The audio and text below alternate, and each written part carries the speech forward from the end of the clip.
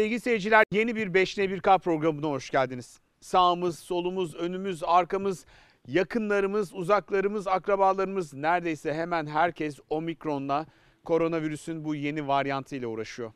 Ee, Bir anlamda pandeminin eski günlerine sayısı olarak döndük. Neyse ki yoğun bakım üniteleri eskisi kadar dolu değil. Doluysa da genelde aşı olmayanların doldurduğu bir tabloyla karşı karşıyayız.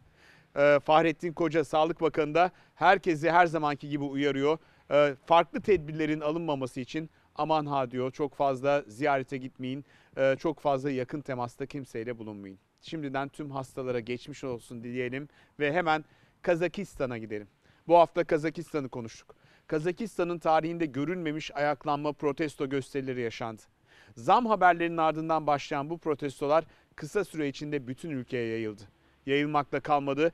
Kimi resmi devlet binalarının yakılmasına kadar uzanan, e, yağmaya kadar uzanan çeşitli protestolara sahne oldu.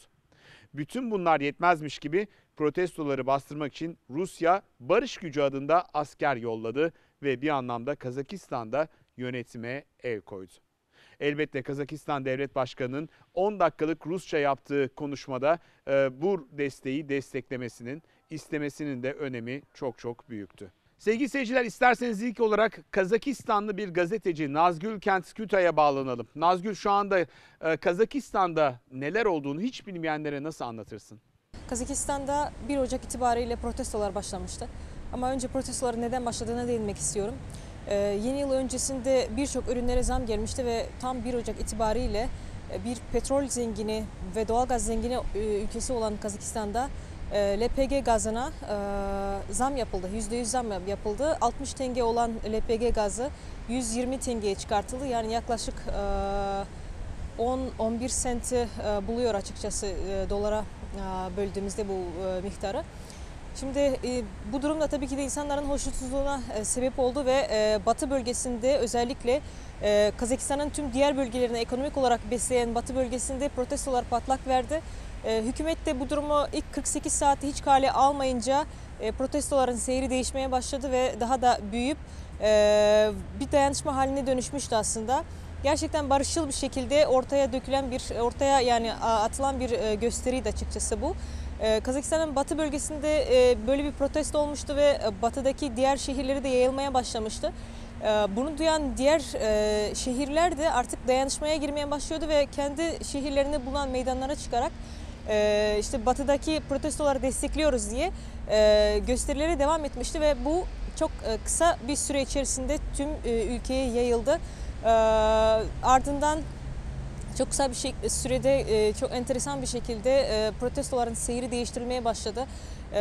Tam da o gece yani 3 Ocak gecesi Almatı'da işler çığırından çıkmaya başladı. Almatı biliyorsunuz yani Kazakistan'ın en zengin ve lojistik ticari merkezi, en büyük şehirlerinden de birisi açıkçası.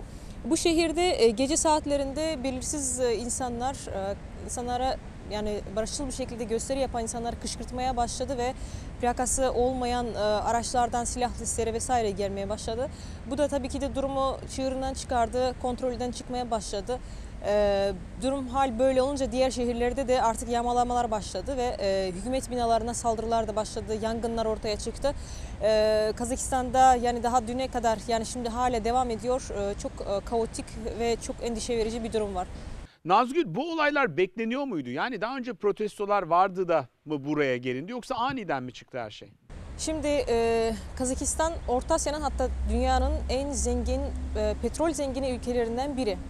Şimdi e, evet doğalgaz e, tam olarak yani LPG e, gazına olan zamdan başladı her şey ama e, Kazakistan'ın e, dünya sıralamasında yani gaz konusunda rezerv konusunda sıralamana bakacak olursak e, 12. sırada yer alıyor e, gaz rezervi konusunda 2 trilyona yakın rezerve sahip.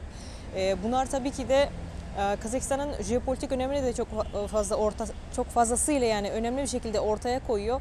E, durumda böyleyken e, halk tabii ki de doğal olarak şunu istiyor. Benim ülkem çok zengin ama benim refah seviyem çok düşük. Gelir eşitsizliği var devlet kurumlarına olan e, güvensizlik e, söz konusu. Ve e, çok fazla gelir eşitsizliği var. Mesela Kazakistan'ın batı bölgesi yine aynı şeye e, aynı noktaya gelmek istiyorum. Protestoların patlak verdiği bölge e, diğer bölgeleri ekonomik olarak ayakta tutan bir bölge. Çünkü petrol var, gaz var, her şey oradan çıkıyor. Ve Kazakistan'ın diğer bölgelerinden işçi gücü o bölgeye gel- gelip e, çalışmaya devam ediyor. Tabii ki de bir işçi gücü var. Yani orada dayanışmaya çıkmak, e, bir araya gelmek e, çok daha kolaydır diğer e, şehirlere göre. Şimdi dediğim gibi yine dipten gelen bir dalga vardı. Çünkü 30 senedir değişmeyen bir sistemden bahsediyoruz ve çok fazla yani Kazakistan kaynaklarının çok az bir, kısmının halka verildiğini görüyoruz. Bunlar tabii ki de önemli bir şekilde halkın halktan gelen dip dalgayı oluşturdu ve e, böyle şeyler patlak verdi. Ama e, özellikle altını çizerek belirtmek isterim ki e, protestoların seyri tamamıyla değişmiş durumda. Gerçekten çok fazla kışkırtmalara ve provokasyona maruz kalan bir protesto var şu anda. Nazgül sence bu olaylar nasıl son bulur? Yani ülkede bir rejim ya da e, lider değişikliğine kadar gider mi iş? Ülkede gerçekten e, yani benim açımdan ben de bir Kazakistan vatandaşı olarak e, iyi görmüyorum açıkçası. Evet e, Cumhurbaşkanı sürekli açıklamalar yapıyor. E, kontrol aldığına dair yani her şeyin iyi olacağına dair e, vaatler veriyor ancak e, ülkemizde şu anda e, yabancı güçler var biliyorsunuz. Polislerin birçoğu gösterilerde halkın tarafına geçmeye başlayınca ülkede bir yani Yönetimde bir güvensizlik oluşmaya başladı kendi ordusuna ve polislere karşı. Tam da o sırada mesela Cumhurbaşkanı kendi koruma müdürünü ve e, Ulusal e, Güvenlik Komitesi'nin müdürünü de görevden almıştı. E, bunlar da yani e, eski sistemi tamamıyla değiştirmeye yönelik bir çabalar olarak da e, yorumlanıyor açıkçası bu durum ama e, yani çığır yani kontrolden çıkınca durumlar e, kolektif güvenlik anlaşması örgütünü de davet etti Cumhurbaşkanı ülkeye. E, bu örgüt biliyorsunuz Rusya güdümünde çalışan ve Rusya çıkarları için e, çalışan bir örgüt. İçerisinde e, yani bünyesinde e, Ermenistan, Belarus, Kırgızistan, Tacikistan gibi ülkeler bulunuyor. Kazakistan da bunun bir parçası. Doğal olarak ülkeye içerisinde yer alan ittifak bir askeri örgütü davet etmiş oldu. Şimdi barış gücü altında tabii ki de Rus askeri bölgede faaliyet gösteriyor. Ancak bunun nasıl sonuçlanacağı çok enteresan çünkü Kazakistan'da biliyorsunuz yani çok kırılgan bir yapı var. E, şu durum şundan dolayı demografik yapısı e, demografik yapısına bakacak olursak açıkçası yüzde e, 20 ve 30 arasında Rus nüfusu oluşuyor, e, oluşturuyor ve bu e, durumdan bakacak olursak yani bu protestoların seyri yani milletler arası çatışmaya kesinlikle dönüşmemesi gerekiyor. E, Böyle olduğu takdirde e, Rusya'nın e, bölgede kalma gibi bir e, bölgede kalmasının altyapısı oluşmuş olabilir açıkçası. Çünkü e, altını tek, tekrar çizmek istiyorum. E, Rusya'da şöyle bir kanun kabul edilmişti. Nerede yani bir Rus varsa, Rus vatandaşından bahsetmiyorum. Yani bir Rus varsa orasında orasına Rusya'nın müdahale etme e, hakkı var. Ukrayna'da Ukrayna'ya da aynı şekilde girmişti. Şimdi aslında sadece e, yani Türkiye'de değil e, tüm Kazak kamuoyunda bu endişe verici bir durum e, şu anda. Bir diğer taraftan da e, Kazakistan'da 136 çeşit millet yaşıyor. E, çok fazla kışkırtmaya müsait bir protesto ortamı var şu anda. E, gördüğünüz yani bildiğiniz üzere protestoların seyri sürekli değişmeye başlamıştı. Halkın talebi ilk başta e, mesela yani benzin fiyatlarının indirilmesiydi. Evet indirildi. Hükümet bunu yerine getirdi. Daha sonra e, çok geç bir şekilde cevap verince bu duruma e, artık hükümetin istifası istenilmeye başladı. Bu sefer hükümet de istifa etti. Sonra insanlar artık tamamıyla sistemin değişikliğini e, ön plana sürmeye başladı. Hatta sokaklarda şu slogan vardı yani ihtiyar git diyordu. İhtiyar dedikleri burada Kazakistan 30 yıl boyunca yöneten birinci Cumhurbaşkanı e, ve gerçekten de çok önemli reformlar gerçekleştiren Nursultan Nazarbayev'tı. E, ancak daha sonrasında da e, Kazakistan'a e, doğal kaynakları, zenginlikleri bakımından e, kendi aralarında bir gruplaşma oluşmaya başladı ve halk bundan da çok fazla zarar gördü açıkçası. Bu gruplaşmaların da kurbanı gitmiş gibi görünüyor açıkçası şu anda insanlar. E, için şu anda takip ediyoruz. Olaylar nasıl sonuçlanacak e, bilemiyoruz gerçekten. Çok e, fazla sayıda ölü, e, yaralı insanlar var. Endişeliyiz, takipteyiz. Son olarak Rusya geldi bir anlamda çöktü ülkenin üzerine. Bu ne anlama geliyor Nazgül? Rusya asla böyle bir fırsatı kaçıracak bir ülke değil. Ee, Kazakistan Rusya için çok önemli bir bölge. Çünkü Güney Or- Orta Asya'nın güney tarafına inmesi gerekiyor. Daha da aşağısında Afganistan var biliyorsunuz. Ee, onun da daha aşağısında Rusya'nın ebedi e, isteği sıcak denizlere inmek var. Ama tüm bu planlarının ve bu isteklerinin e, önündeki bir e, je- jeopolitik engel de Kazakistan'da. Şimdi Kazakistan'ın e, Batı ile entegrasyonu veya Türkiye ile Türk Devletleri Teşkilatı ile yeni bir e, ittifak kurma çabaları, e, inisiyatifi ortaya atmaları, kendine yani milli e, değerlerine dönük hareketler etmesi, mesela Latin alfabesine Latin alfabesine geçiş yapılıyor Kazakistan'da. E, daha sonra e, Kazak dilinin yani Kazak Türkçesinin daha fazla ön plana çıkmasıyla ilgili çok güzel adımlar atılmaya başlamıştı. Bunların hepsi Rusya için birer güvenlik tehdidi oluşturuyor açıkçası. E, çünkü e, dediğim gibi yine Kazakistan bu e, Rusya'nın bu jeopolitik e, düşünceleri ve istekleri üzerindeki bir bariyer, engeldi. Bir diğer taraftan e, bakacak olursak yine aynı şekilde protestoların patlak verdiği noktaya e, gelelim. Batı bölgesi. Burası Hazar koridorunun çok önemli sadece ayağı aslında. Hazar koridoru ne anlama geliyor? Hmm, Bu e, Azerbaycan, Türkmenistan, Kazakistan gibi petrol zenginleri ülkelerinin bir arada olduğu ve e, Türkiye'nin de e, çok önemli pay alabileceği bir koridordu. Hatırlarsanız Cumhurbaşkanı Erdoğan da sık sık Türk Devletleri Teşkilatı'nın konferanslarında buna değiniyordu, açıklamalar yapıyordu bunun üzerine. Şimdi e, bu koridor da aslında e, Rusya için bir engel. E, çünkü burada kendi payı yok. Diğer taraftan e, Çin'in kuşak ve yol girişimi var ve bu yol girişiminin en önemli güzergahı da Kazakistan. Kazakistan üzerinden geçiyor. Aslında Rusya son dönemlerde bundan ne kadar rahatsız olduğunu dillendirmeye başlamıştı.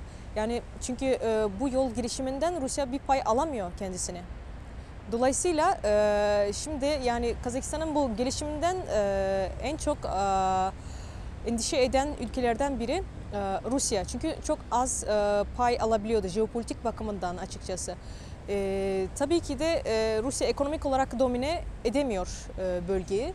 Tamamıyla yani e, bu şeyden bahsetmiyorum yani kendine bağlı e, Kremlin'in desteklediği elitler var, belli başlı oligarşi sistemleri var. Onlardan bahsetmiyorum. Tamamıyla bölgenin ekonomik sisteminden bahsediyorum. Burada Rusya daha fazla pay almak istiyor ama ancak bunu ekonomik olarak domine edemiyor. Ancak e, ordusuyla yani e, özgüveni olduğu konuda e, askeri gücüyle bunu e, sağlayabilir. Bu bakımdan böyle de endişeler var. E, o yüzden e, takip etmek gerekiyor. E, bir, böyle bir örnek daha var onu da e, eklemek istiyorum. Şimdi e, Rusya bir girdiği yerden çok kolay kolay çıkan bir ülke değil açıkçası. Aynı şekilde mesela Ukrayna, Transdnester Moldova'daki, e, Ukrayna'nın doğusu, e, Gürcistan, Abhazya, Ossetya örneği var biliyorsunuz. En sonunda mesela Karabağ ve oradan da 5 sene sonra çıkmamak için e, çok fazla e, sebepler üretiyor şu anda. Bakalım yani sonuç nasıl olacak e, takip etmek gerekiyor. Nazgül çok çok teşekkür ederim. Kazakistan'daki durumu bizlere anlattın, bildirdin. Sevgili seyirciler, bu hafta ilginç bir gelişme oldu. Özellikle 80'li yıllarda dünyaya damgasını vuran nükleer e, silahlanmayla ilgili nükleer güç sahibi 5 ülke çağrıda bulundu ve ortak bir masada oturmaya, konuşmaya ve nükleer silahları kontrol altında tutmaya karar verdiklerini açıkladı. Peki bu çağrı ne anlama geliyor? Doktor Erdoğan Karakuş şu anda karşımızda. Erdoğan Bey, sizce e, bu 5 ülkenin gücü nedir acaba? Şimdi bu beş ülkenin e, nükleer gücü e, tabii en fazla nükleer güce sahip olan ülkeler bunlar.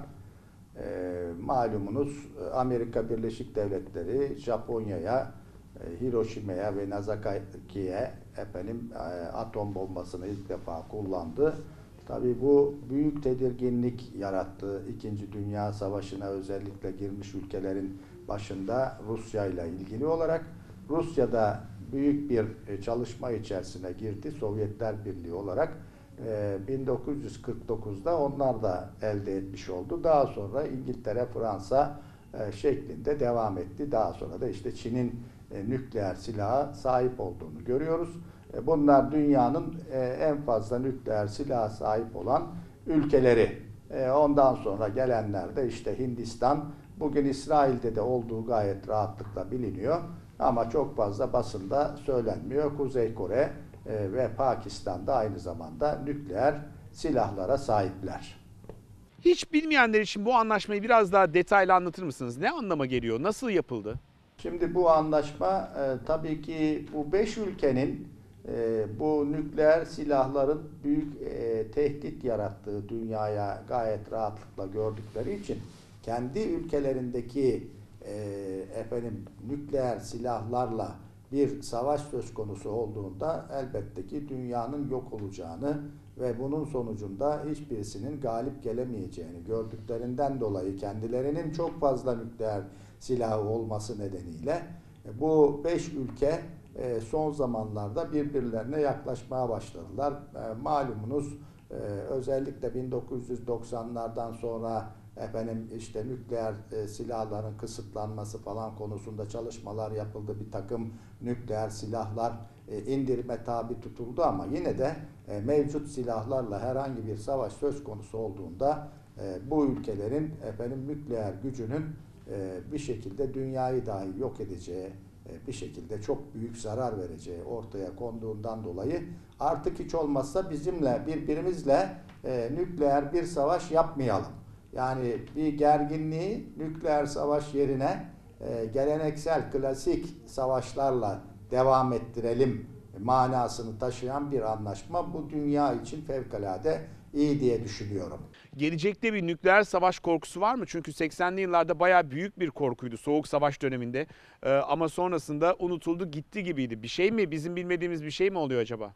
Tabii ki e, bu beş devletin bu anlaşmayı yapması elbette ki nükleer herhangi bir e, savaş yapmayacaklarının işareti. Bu da çok iyi bir noktaya taşımış konumda. Ama e, malumunuz e, bunun yanı sıra bu beş devletin dışında e, bazı devletler var. İşte biraz evvel söyledim Hindistan, Pakistan, e, İsrail, e, şu anda e, Çin uğraşıyor. Bunun yanı sıra işte Kuzey Kore'de e, nükleer efendim e, başlık e, taşıyabilen füze sistemleri de var ve bu ortam içerisinde e, elbette ki e, onların da e, bir şekilde etkileri söz konusu olacağından e, bu beş devlet hiç olmazsa yani biz dünyanın bakın Sayın Cumhurbaşkanı hep söyleyip duruyor dünya beşten büyüktür falan diye ama bunlar pek büyüklük filan tanımıyorlar görüyorsunuz. Kendilerinin ancak nükleer silaha sahip olmalarını ve başkalarının nükleer silaha sahip olmamasını ve yayılmamasını istiyorlar. Bu bir yerde İran'a da bana göre tehdit. İran'a tehditlerinin e, doğrudan amacı bu. E, bu beş devlet bu konuda birleşince yayılmayı da istemediklerini belirtince e, bu şunu gösteriyor. E, İran'a bir harekat bile vuku bulabilir. Benim söylemek istediğim o. E, burada biliyorsunuz şu anda e, İran'la e, malumunuz toplantılar yapılırken nükleer silahların işte kısıtlanması ve e, İran'ın nükleer silah üretmemesi konusunda e, İran o sırada e, bir e, uydu zincirini havaya fırlatmak istedi. E, ancak e, füzesinin e, takatı yeterli olmadığından, ilk hızlanma e, füzesi takatı yeterli olmadığından e, uydular istenilen yere ulaşmadı ve sonuç e, bir yerde e, bir noktada kötü bir ortam yarattı. E, bunun üzerine bu beş devlet özellikle tabii ki Amerika Birleşik Devletleri bu denemenin Birleşmiş Milletler kurallarına aykırı olduğunu belirtti. Halbuki öbür taraftan İran'da işte biz bunu geleneksel bir e, uydu fırlatma şeklinde hareket etmekteyiz diye bildiride bulundu. Benim de demek de istediğim şu ki bu beş devletin anlaşması İran'ı köşeye sıkıştırmış vaziyettedir. İran e, efendim bu nükleer e, bomba üretimiyle ilgili her türlü e, sistemi aşağı yukarı durduracaktır. Bu onu gösteriyor. Yani e, Birleşmiş Milletler kararında da e, herhangi bir şekilde nükleer e, silah taşıyan e, balistik bir füzenin denemesinin bile yapılmasını ülkelerin istemiyor. Şimdi bir yandan biliyoruz Amerika, Rusya ve Çin 3 bir, bir, bir, araya gelmez ülke ama ilk kez bir anlaşmanın içinde bir araya geliyorlar. Sizce bu umut verici bir gelişme mi? İkili ilişkileri de geliştirir mi? Ee, şimdi daha önce de e, söylediğim gibi e, bir şekilde ortam şu. Yani bu beş devlet diyorlar ki bakın bizim herhangi bir şekilde e, nükleer silahla savaşa girmemiz halinde e, hiçbirimizin e, bir şekilde zarar görmemesi söz konusu değil. E, bunun sonucunda artık e, o kadar büyük darbe yiyeceğiz ki biz kendi aramızda hiç olmazsa e, bu gerginlikleri e, efendim e, nükleer silahlar üzerinden değil en azından e, klasik geleneksel silahlar üzerinden yani nükleer olmayan bombalar veya diğer e, şekillere e, döndürelim diyorlar. Bu tabii ki dünya için iyi bir olay diye düşünüyorum. Şimdi bir de bunu e, ilave etmek istediğim bir konu daha var. Bu toplantıya gelmeden önce Rusya bir denemede bulundu. O ne denemesiydi? Kendi uydusunu vurdu. Şimdi bu ne demektir? Bu uydu vurması Rusya'nın bu beş devletin toplantısından evvel yapması e, Rusya şunu söylemek istedi. E, balistik füzelerin menzili arttıkça hedefi vurma ihtimali azalır. E, bu nedenle bu nedenle e, mutlaka uydudan kumanda verilmesi gerekir. Rusya dedi ki bakın e, bizimle efendim nükleer konuda bir savaşa girme konusunda sizleri bir şekilde yani tehdit ediyorum dedi. Ben e, rahatlıkla e, uzaydaki e, uyduları vurma yeteneğine sahibim dedi. E, balistik füzelerin hassas vuruşunu sağlaması e, tabii ki doğrudan uydulardan kaynaklandığı için e, uydularla ilgili rahatlıkla onu söylemek istedi. Daha sonra toplantıya geldi. Yani burada e, bir yerde Rusya e, tehditte bulundu. Diğer ülkeleri tehditte bulundu. Dedi ki bakın e, uydularınızı vurabilirim. Amerika Birleşik Devletleri de e, herhangi bir şekilde kendi uydusuna bir e, hareket yapılması halinde savaş nedeni sayacağını 1984'lerde filan ilan etti. Böyle bir ortam var. E, Rusya yani böyle bir e, deneme yaparak e, bir şekilde toplantıya geldi. E, batılı ülkeler bu diğer e, batılı ülkeler ve Çin ancak şunu söylediler Rusya'ya. E, benim e, bu uyduyu vurmakla e, çöplük haline getirdiniz o bölgeyi. E, o nedenle uzaydaki çöpler ise diğer uydulara zarar vermektedir. Çok kötü bir deneme oldu dediler. Sadece bu kadar suçlayabildiler. Çok çok teşekkür ederim yayınımıza katıldığınız için. Sevgili seyirciler bu hafta ilginç bir hafta yaşadık. Türkiye'nin ilk e, belki de ikinci diyebiliriz Anadolu'dan sonra e, araba markası TOG Las Vegas'ta görücüye çıktı ve pek çok e, farklı kesimden de çok olumlu tepkiler aldı. Teknoloji artık almış başını gidiyor. Bir diğer teknolojiyle ilgili gelişmeyi de Cumhurbaşkanı Erdoğan açıkladı ve yakında milli uçağımızın da 2023 yılında e, hangardan çıkacağını 2025 yılından itibaren de denenip kullanmaya başlanacağını söyledi. Aslında yeni bir teknolojik dünya kuruluyor. AK Parti bir anlamda yıllardır bir kenarda tuttuğu teknolojik gelişmeyi hızla devreye almışa benziyor. Yerli milli araba, bir yandan SİHA'lar, bir yandan yerli milli uçak meselesi Türkiye'nin gündeminden düşmüyor. Bir yandan da bütün bu teknolojileri birleştiren aslında 5G teknolojisi artık kapıya dayandı Türkiye'ye geliyor. Peki nedir 5G? Sizin hayatınızı nasıl değiştirecek? Ee, bütün bu teknolojik hamlelere neler katacak? Bizim hayatımıza ne katacak? Gelin bunu birbirine soralım. İTÜ öğretim üyesi Doktor Ramazan Yeniçeri şu anda karşımızda. Ramazan Bey sizce 5G teknolojileri bütün bu değişimi nasıl etkileyecek? Aslında bu 4G, e, 4.5G ile duymaya alıştığımız G serisi hayatımıza gireli çok oldu mobil iletişim teknolojilerinin nesillerini tanımlıyor bunlar. Bugün 5G'yi dünya olarak kullanmak üzereyiz. Ama e, hem akademik camiada hem endüstrilerin araştırma e, birimlerinde daha sonraki nesiller 5.5G, 6G şu anda çalışılıyor. E, biz son kullanıcılar olarak 5G'yi kullanmaya başladık. Dünyanın bir kısmında kısa süre sonra Türkiye'de kullanacağız. Alışık olduğumuz 4.5G de bir mobil iletişim teknolojisi nesli. Bazı özellikleri, bazı teknolojileri içinde barındırıyor. 5G'yi en güzel anlatmanın yolu mevcut kullandığımızdan farklarıdır.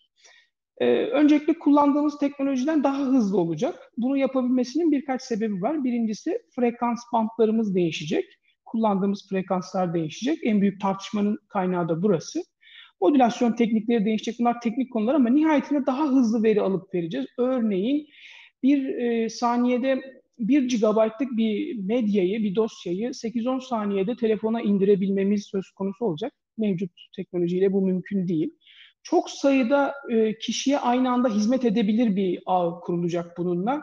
E, sadece insanları düşünmeyin artık e, cihazlar da internet bağlantılı hale geliyorlar ve e, yakın vadede önümüzde Internet of Things denen yani nesnelerin interneti denen e, yaklaşımla 50 milyardan fazla cihaz, insan kullanımında e, cihaz e, bu ağa dahil olacaklar. Mevcut e, ağlarımızın, şebekelerimizin bunları kaldırabilmesi mümkün değil. Gecikmeler çok azalacak. Gecikmeler azaldığı için canlılık hissi artacak. Canlı e, uzaktan e, cerrahi operasyonlar, canlı uzaktan birlikte e, sanat icra etmeler e, ve eğitim faaliyetleri çok daha hızlanacak. Görüntü kalitesi çok artacak. 4K, 8K videolar artık çok özel videolar olmaktan çıkıp harcı alem videolara, görüşmelerimizi, e, görüşmelerimizin temelini teşkil eden e, video kalitelerine dönüşmeye başlayacak. E, hayatımızda telefonlarımız değişmeyecek. Aynı cihazları kullanıyor olacağız. Aynı ekranlar, aynı dokunmatik ekranlar. Tabii yeni nesiller çıkacak, yenilerini alacağız falan ama e, bağlantılarımız hızlanacak. Bunun dışında hayatımızda hep konu olurdu baz istasyonları. Baz istasyonları tabii değişecek. Teknolojinin değişmesi gerekecek. Daha fazla sayıda baz istasyonu göreceğiz ama bunların mesafeleri kısalacak, kısalması gerekecek. E, sıklaşacaklar. E, bunun teknik gerekçeleri var. 5G ee, aslında bizim mobil iletişim teknolojilerimizin süre giden gelişimindeki bir durağımız, bir istasyonumuz. Bu durmayacak. Yeni nesillerle daha hızlı, daha çok kişiye aynı anda erişen, e, daha az gecikmeyle çalışan e, mobil iletişim teknolojilerini ilerleyen yıllarda hep beraber tecrübe ediyor olacağız. 5G teknolojilerinin uçaklarda kullanımı nedir? Ne tür etkileri var? Ee, evet. 5G teknolojisinin uçaklara olan etkisi aslında e, gündemimizi bayağı meşgul eden bir konu. Çok taze, çok güncel bir konu. Şöyle ki e, bu uçaklar cihazlı iniyorlar ve yerle olan mesafesini sürekli ölçmek durumdalar. E, bu esnada bir yanlış ölçüm ya da bu esnada bir hatalı uyarı mesajı sadece radyo dalgalarının girişiminden dolayı e, kokpitte bir problem, bir en azından bir tedirginlik havası oluşturacaktır. Üstelik sis içinde uçuyorsanız, göremiyorsanız e, cihaza mı güveneceksiniz, pilot algılarınıza mı güveneceksiniz? Bir problem var. E, tabii ki bunun katastrofik, Allah korusun ölümcül sonuçları olabilir. Onları bir kenara bırakıyorum zaten. Onun haricinde neler olabilir onlardan bahsedelim. Bu altimetreler aynı zamanda kalkıştan sonra havaalanı yaklaşımlarında da kullanıyorlar ve yine yer ile uçak arasındaki mesafeye dair yan, bir, bir, bir problem eşiklerini aşan bir ölçüm tespit ederlerse uyarılar üretiyorlar ki e, yine girişimden dolayı 5G'den dolayı bir yanlış ölçüm e, yine kokpitte problem doğuracaktır. E, ayrıca bazı araçlarda bu ölçüme göre e, buna cevap veren sistemler var, otopilotlar var. Yani çok yaklaşıldıysa yükselmeye çalışan e, mekanizmalar var. Dolayısıyla bunların aktif olduğu durumda yanlış ölçüm, hatalı ölçüm durumlarında uçak gereksiz yere irtifa kazanma eylemine girebilir e, ya da yine gereksiz e, uyarılar üretebilir. Üstelik bu hani e, yaklaşmadığımız, karaya yaklaşmadığımız durumda yaklaştığı ölçümünü yaptığı durumu konuşuyoruz. Tam tersi de olabilir. Gerçekten karaya yaklaşırken bu girişimden dolayı, parazitten dolayı yaklaşmadığını ölçerse o daha büyük problem. E, bu sefer uyarılar gelmeyecek ama başka kötü bir sonuçla karşılaşabiliriz. Hasılı kelam, Amerikan Havacılık İdaresi diyor ki en sonunda anlaşmaya vardılar. Yılbaşına başlayacak olan yayın iki hafta geciktirildi. E, Amerika'daki büyük bu işe yatırım yapmış e, net operatörler iki hafta yayını durdurdular, açmıyorlar. E, bu işi yapmayalım diyorlar. 4.2 GHz'e çok yakın 3.98 GHz'e kadar e, genişleyen bir 5G bandı yayını hiç açmayalım istiyorlar ama bu pek mümkün gibi değil. Çünkü yatırımlar var, onlar da yapmak istiyorlar. Amerika'da bu problem büyük. Bir tartışma doğdu. Ama Avrupa'da yok bu tartışma. E, aynı araçlar Avrupa'da da var. Aynı uçaklar, aynı altimetreler. A, a, dünya çapında, dünya standartlarında bunlar kullanıyorlar. Her yerde geçerli. 5G yayını Avrupa'da yapılıyor, orada da var. Fakat problem yok. Problem olmadığını Avrupa Havacılık İdaresi deklare ediyor. Tek küçük bir fark var. O da şu. Avrupa daha temkinli davranarak 3.7-3.8 GHz bandını kullanıma açtı. Yani 3.98'e 4'e yaklaşmayan, 3.8'de biten bir band söyledi. Dolayısıyla radar altimetreleri oldukça uzak bir yerde 5G yayınları bitmiş oluyor. Bu da ekipmanların birbirinden ayrı, bağımsız, birbirini etkilemeden çalışması için bir güvence veriyor. Ve hali hazırda yayında olan e, ağlar ile hali hazırda radyo altimetreli uçak, uçaklar arasında bugüne kadar tespit edilmiş bir sorun oluşmadığını raporluyor bize. Problem Avrupa'nın pek problemi değil gibi, şu anda Amerika'nın problemi gibi ama yani daha dünyada bu teknolojiye adapte olmamış çok ülke var, çok havalimanı var. Bunların hepsinde bu potansiyel problem doğabilir. Bunu çözmemiz gerekiyor. 5G'nin artılarını konuşuyoruz. Eksileri ne olabilir? Yani bir önlem de almak gerekiyor mu acaba? Bu problem çözülebilir bir problem aslında. Hiç problem doğmaya da bilirdi. E, frekans tahsisinin daha planlı yapılması, e, güvenlik e, kriterlerini önceliklendiren bir tahsis yapılmış olması bugün gündemimizi bu sorunu teşkil etmemesine sebep olabilirdi ama yapıldı. E, ücretleri alındı ve bu frekanslar tahsis edildi. O yüzden problemle karşı karşıyayız. Şunlar yapılabilir. Öncelikle ütopik olacak. Birçok altimetre, radyo altimetre cihazı teste tabi tutulup hangi şartlarda problem yaşadığı gözlemlenebilir. Ama bu çok büyük bir maliyet. E, yapılması çok zor, imkansız bir şey. E, bu, bu süreçte kimse uğraşmak istemez. Üstelik test sonucundan elde ettiğiniz veriler sizi doğrudan çözüme götürmeyecek. Dolayısıyla uygulanabilir değil. İkinci çözüm, ikinci yaklaşım 5G e, yayınlarına uyumlu yani Amerika'daki o şartları zorlayan frekans bandına dahi uyumlu altimetreler tasarlanabilir. Bunları altimetre tasarımında e, frekansı birbirinden ayıran, bantları birbirinden ayıran filtrelerimizi daha iyi yaparak yapabiliriz. Ama ve lakin havacılıkta bir cihazı üretmek, bunun sertifikasyonunu tamamlamak ve bunu ticari hale getirmek çok uzun bir süreçtir. Üretimden daha uzun bir süreçtir. Dolayısıyla biz 2026-2027 yıllarında ancak 5G ile problemsiz çalışacağı garanti edilmiş radyo altimetrelerin kullanıma gireceğini, ticarileşeceğini öngörüyoruz. Dolayısıyla bu da yakın vadeli bir çözüm değil. Altimetre frekansları değiştirilebilir. Yani önceden kendi yayın yaptığı frekansa komşu bir 5G yayını geldi diye altimetre frekansları başka bir yere taşıyabilir ama bu da çok uygulanabilir gözükmüyor. Yine çok büyük maliyet bütün cihazların değişmesi demek. Kimse bunu almayacaktır. Bugün yapılabilecek olan şey şu. Amerika'da büyük ihtimalle bu çözüme gidilecek. Havalimanları çevresinde radar altimetre yere yaklaştığınızda daha çok kullanacağınız bir şey. Bu yüksek irtifada uçarken kullanılmaz havaalanı yaklaşımlarında, havaalanı çevrelerinde, havalimanı çevrelerinde 5G yayınlarına dair özel bir kısıt getirilecek. Örneğin şunlar konuşuluyor ve uygulanması en makul olanlar. Güçler düşürülecek ki etkileşim azaltılsın. 5G antenleri havaya değil olabildiğince yere çevrilecek, havaya yayın yapılmayacak. Böylelikle Amerika'da herhangi bir yani problem orada olduğu için, o lokasyonda olduğu için Amerika'da bir uçakla bir havalimanına yaklaşırken, yere yaklaşırken size dönük bir 5G baz istasyonu yayını olmayacak.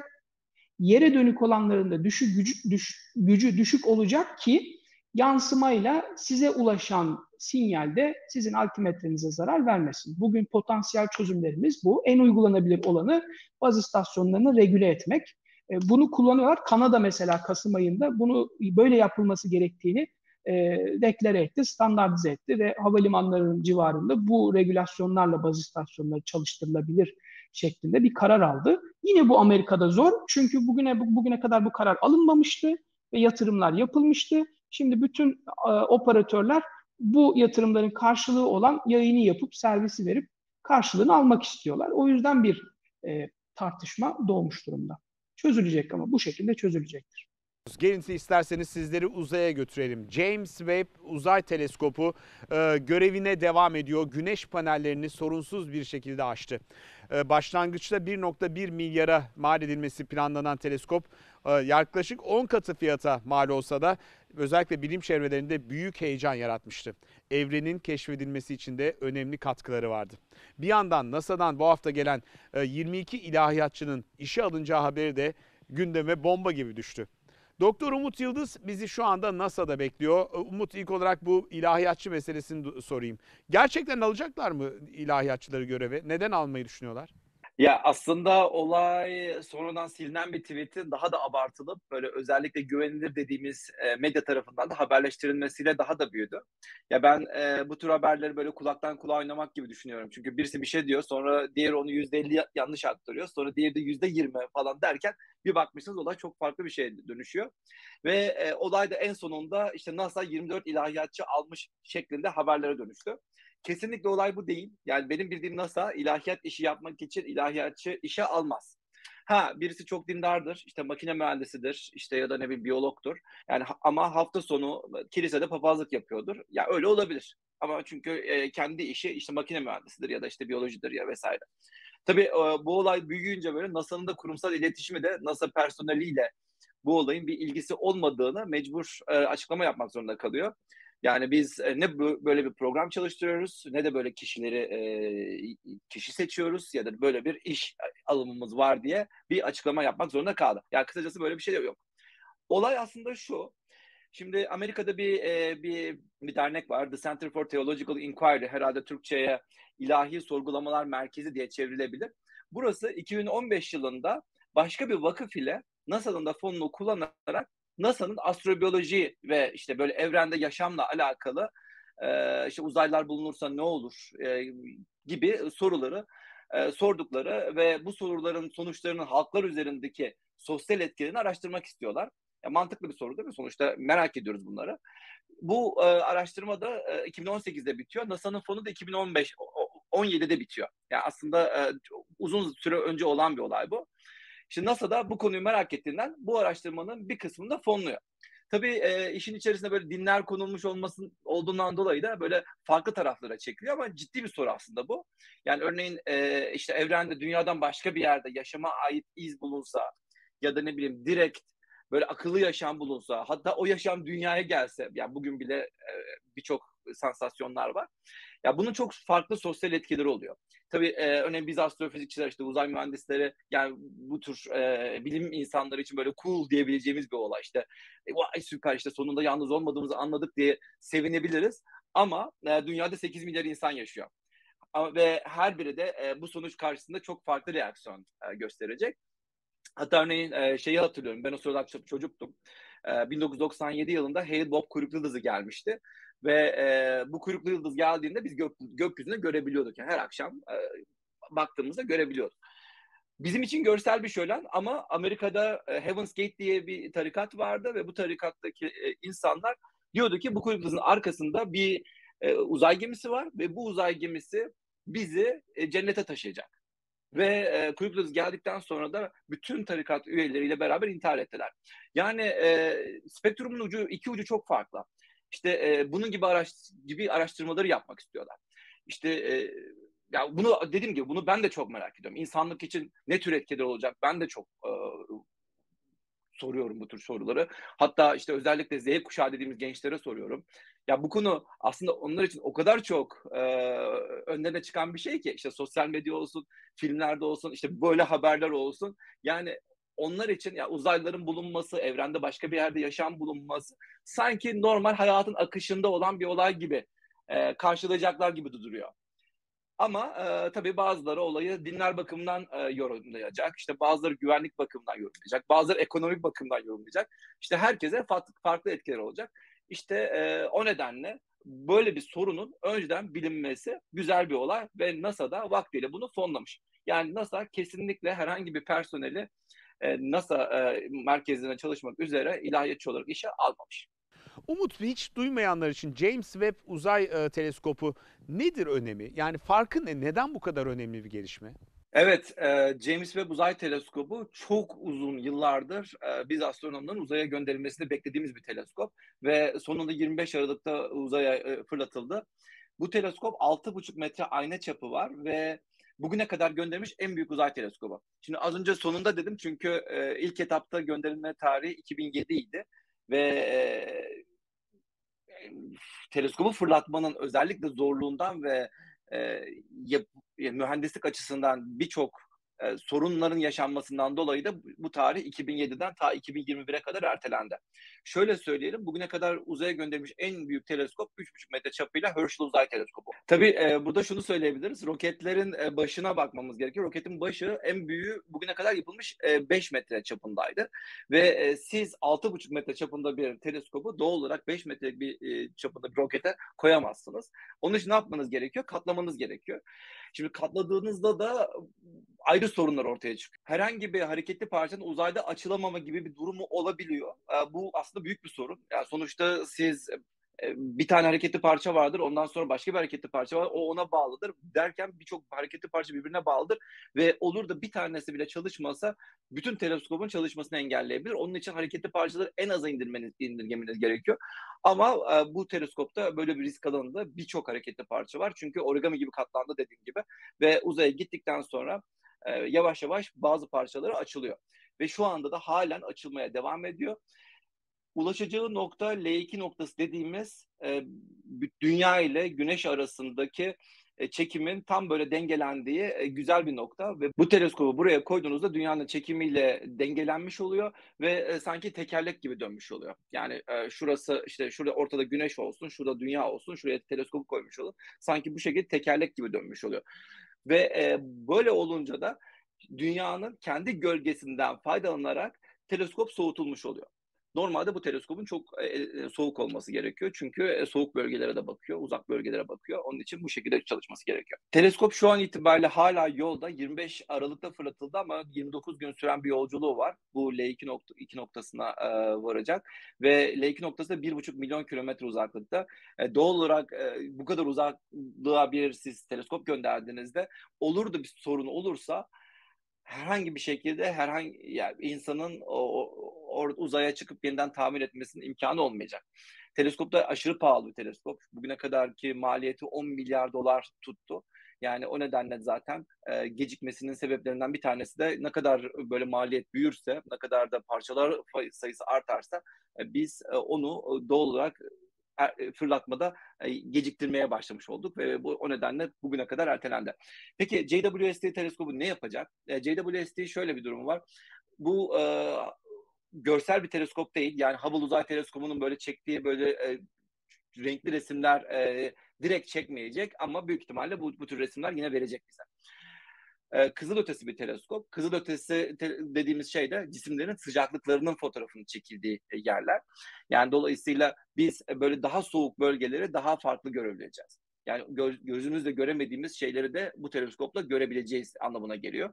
Tabii neleri görebileceğiz? Evrenin ilk başlarındaki e, yapılara ait e, görüntüler elde edebileceğiz. Yani örneğin kendi galaksimizin oluşumunu e, belki görme imkanımız olacak. İşte kend- evren 13.8 milyar yaşında ve biz e, bizim kendi galaksimizde 13 milyar e, civarı e, yıl önce e, oluşmaya başlıyor ve e, doğal olarak yani ilk yani Big Bang'den kısa bir süre sonra aslında bu galaksiler oluştu, oluşmaya başlıyor anlamına geliyor. Hatta ilk 400 milyon yıl sonra oluştuğu söyleniyor. Ve e, bu teleskopla bu ilk galaksilerin nasıl oluştuğunu e, görmeye başlayacağız. Bundan öte ee, özellikle öte gezegenler çalışmaları yapılacak. Örneğin biz şu anda birçok e, öte gezegen keşfettik. Varlığını keşfettik. Başka yıldızların çevresinde dolanan bir 5000 civarı öte gezegen var, olduğunu biliyoruz. Tabii bunlardan da bazıları dünyaya benzer geze, öte gezegenler. Nasıl dünyaya benzer? İşte örneğin üzerinde suyun sıvı olduğunu biliyoruz.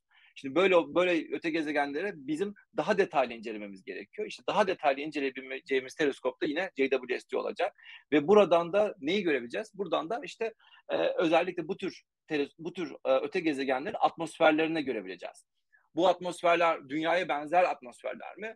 Yoksa çok farklı atmosferler mi? Eğer dünyaya benzer atmosferse biz daha da yakından incelemeye çalışacağız ki belki oralarda da işte dünya gibi bir yaşama rastlayabilir miyiz? Diye e, soru sorabileceğiz. Aslında e, ilk önceki sorumuzda da bu vardı biliyorsunuz. İşte, işte başka bir yerde bir yaşam bulsak ne olur demiştik.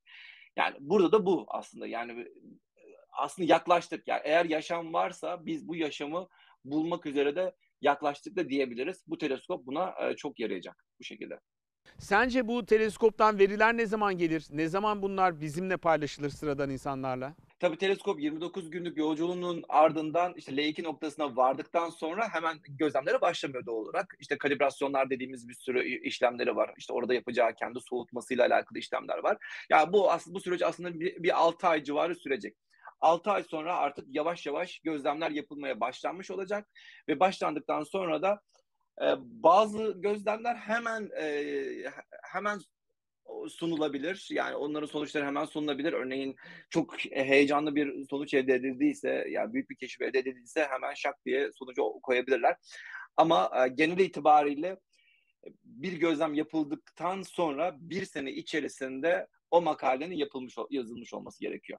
Çünkü e, bir sene sonra o gözlem verileri tamamen halka açılacak. Yani ben de siz de bir web sitesine gireceksiniz ve o bilim insanlarının işte o, o, o projeyi yazan bilim insanlarının daha önceden işte günlerce aylarca uğraşıp e, yazdığı o projenin verilerini biz de indirebileceğiz ve onlar neyi keşfedeceklerse eğer onlar yazmadılarsa biz de keşfedebileceğiz. Kısacası JWST'nin verileri astronomlar e, o verileri çekmecelerine koysun işte canı istediği zaman yayınlasın diye bir olay olmayacak.